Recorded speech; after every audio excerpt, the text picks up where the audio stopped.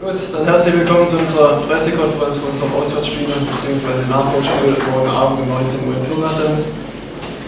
Habe vorab zwei Informationen. Zum einen, äh, die Pokalauslosung war ja am Samstag gewesen, unser Weg führt uns zusammen fünf. Das Spiel wird aller Voraussicht nach, also die letzte Bestätigung ist noch nicht da, aber es sieht danach aus, am 30.04. sein um 18 Uhr. Also Dienstagabend, nicht am 1. Mai. So, und ähm, dann haben wir noch eine Vertragsverlängerung oder eine Vertragsunterschrift äh, zu vermelden. Das ist Timo Wagner aus der U19. Äh, wird uns ein Jahr weiterhin erhalten bleiben, nachdem er jetzt auch schon seit der U13 hier ist. Und wird das Torhüterteam der ersten und zweiten Mannschaft für die kommende Saison erweitern und hoffentlich auch verbessern. Okay, Dirk, dann können wir zum Spiel kommen. Wir ähm, sind die Jungs aus, der, aus dem Derby rausgekommen. Denke mal, ja, grundsätzlich erstmal natürlich äh, mit viel Euphorie, mit viel Freude. Und was jetzt so Verletzungen angeht, haben wir jetzt nichts weiteres hinzubekommen. Mussten ja Sebi aufgrund von ein bisschen Wadenproblemen auswechseln. Also wird es jetzt heute eigentlich erstmal darum gehen, äh, ja, in die Mannschaft reinzuhorchen, ob jeder auch morgen wieder die Frische erreichen kann, um dann auch wieder so eine Leistung wie gegen Hamburg abrufen zu können. Okay, danke Dirk. José, äh, im Hinspiel warst du noch nicht dabei gewesen. Morgen geht es dann nach Pirmasens. Ich weiß nicht, ob du schon dort gespielt hast. Was erwartest du dort? Äh, nee, Pirmasens ist ein Neuland für mich. Ähm, ich erwarte aber trotz alledem, dass, ja, sag ich mal, ein kleines Derby ist, äh, dass die natürlich heiß sein werden. Das ist für die das Spiel des Jahres sein wird, weil der große FC halt dahin kommt und ähm, das wird mit Sicherheit ein kampfbetontes Spiel und äh, da wollen wir natürlich das Maximale mitnehmen. Okay, danke. Eure Fragen bitte. José, ähm, jetzt geht es für euch um Platz 2, aber für Pirmasens geht es halt noch so um eigentlich das Überleben in der Liga. Äh, wie wichtig ist es auch gegenüber den anderen Vereinen, die da unten drin stehen, dass ihr da eure Leistung abruft, damit einfach so Betriebsausflug nach Pirmasens fahren?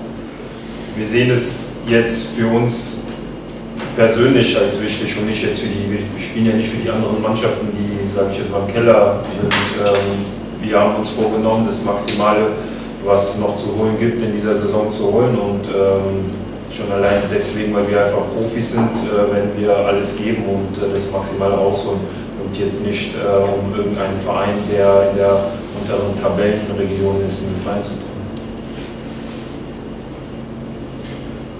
José, du bist als äh, Stürmer, so ein bisschen als Nachfolger von Kevin Behren und Patrick Schmidt äh, nach Saarbrücken gekommen, äh, warst dann relativ schnell, schwer verletzt und bist jetzt Linksverteidiger geworden. Äh, beschreib mal so ein bisschen, wie du damit umgehst.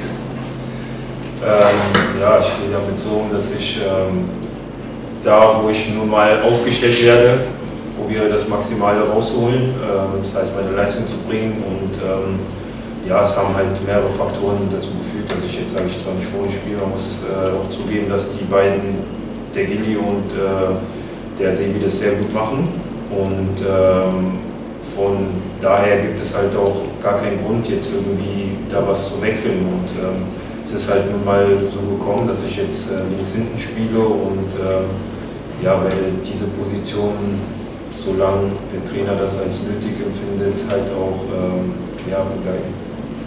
Siehst du das als Übergangsposition für ihn oder kann das auch perspektivisch was Längeres sein? Du, ich bin da ganz ehrlich, ich kann es dir wirklich nicht sagen. Ja, also wir haben in der Vorbereitung, kann ich mich erinnern, in Wien Wiesbaden mit Joe als linker Verteidiger auch, auch mal gespielt, als wir in 4-4-2 gespielt haben. Da hat er schon seine Probleme gehabt. Dann haben wir anschließend besprochen und dann sind wir eigentlich so verblieben, dass wir gesagt haben, Joe, Dreierkette, linke Seite, glaube ich, ist eine gute Position für dich. Wir ja sowieso, oder wenn wir 4 für 2 spielen, eher der offensivere Part ist. Aber nach dem Spiel Wiesbaden sind wir eigentlich so verblieben, dass wir gesagt haben, linke Außenverteidiger machen wir nicht mehr. Und ja, wie wir gesehen haben, war dies am Wochenende hinfällig. Hat natürlich mehrere Hintergründe gehabt, aber für mich ist entscheidend, A, ist der Joe erfahren und auch clever genug, solche Dinge anzunehmen und auch sich schnellstmöglich auf diese Dinge dann einzustellen. Und B war es einfach jetzt am Wochenende für mich oder für uns im Trainerteam ähm, eine Situation, wo wir gesagt haben, wir wollen auf Joe aufgrund seiner Körperlichkeit nicht verzichten gegen eine, sehr robuste Homburger Mannschaft. Ähm, aber auch trotzdem die Qualität, die er nach vorne hin mitbringen kann, dann auch nutzen. Ja? Und das hat er sehr, sehr gut gemacht. Ich glaube, man hat am Anfang gesehen, dass er so zwei, drei Problemchen noch hatte. Aber ich glaube, je länger das Spiel gedauert hat, desto sicherer wurde er in der Defensive. Defensiv hat er da gar nichts zugelassen. Offensiv hat er sich auch immer wieder mal eingeschaltet und hatte mit Sicherheit auch großen Anteil daran, dass Homburg nicht das Spiel durchziehen konnte, was sie sich vielleicht erhofft haben. Wie ist es denn für dich als, als Stürmer in Anführungszeichen, als du hierher gekommen bist? Wartest du immer noch auf ein erstes Tor? Ähm, eigentlich eine ungewohnte Situation für dich, oder? Ja klar, aufgrund der ähm, Umstellung der Position ist es natürlich schwerer geworden, weil man halt äh, so weit entfernt vom gegnerischen Tor ist wie noch nie in der Laufbahn. Aber ähm, ich mache mir da jetzt selber gar keinen Stress, weil ähm, es irgendwann mal halt auch kommen wird. Also ich denke, dass das Wichtige ist einfach, dass wir erfolgreich sind und ähm, wäre es jetzt nicht der Fall, dann würde man, denke ich, halt auch äh, von außerhalb mehr darauf hingewiesen und jetzt ist es ja so, dass es bis auf das Mannheim-Spiel von den Ergebnissen, ja, nehmen wir noch das Raumspiel noch raus, eigentlich recht gut gepasst hat. Und ähm, ja, ich mache mir jetzt da selber gar keinen Druck und äh, schon allein aufgrund dessen der Systemumstellung bzw. Äh, Position, die ich jetzt spiele. Als Stürmer motiviert man sich ja so ein bisschen über die Tore oder über die Vorlagen. Äh, wie motivierst du dich jetzt als Abwehrspieler über die gewonnenen Zweikämpfe? Ja, es ist schon. Oder, oder ist es dann doch schöner, wenn du jenseits der Mittellinie bist? Ja, das ist halt schon eine andere Motivation. Man will dann halt, sage ich jetzt mal, in erster Linie kein Gegentor kriegen. Das ist dann ähm, ist halt einfach ein Spiegelbild von der Motivation vorher. Und äh, man ist natürlich ähm, ein Stück weit zufrieden, wenn man kein Gegentor bekommen hat. Dann weiß man, dass man zumindest schon mal äh, die Basis geschaffen hat, beziehungsweise seine Basics erledigt hat. Und wenn man dann halt offensiv irgendwie Akzente setzen kann, ist es dann halt äh, umso besser. Dirk, ähm, Fabian Eisener, den hatten wir gar mal auf dem Schirm, war jetzt relativ überraschend im Kader, hat es gemacht, unabhängig von seinem Tor, fand ich, hat sich gut bewegt.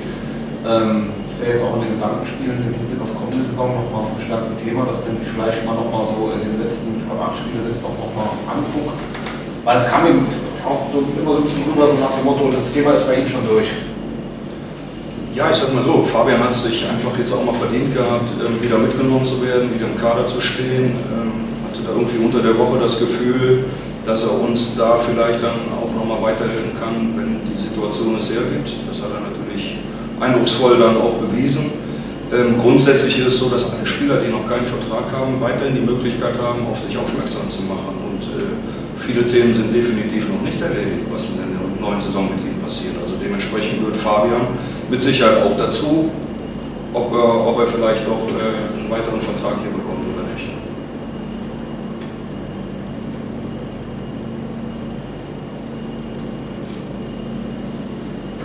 Okay, gut. Wenn an dieser Stelle keine weiteren Fragen sind, dann bedanke ich mich für euer Kommen und eventuell bis morgen Abend. Dankeschön. Ja.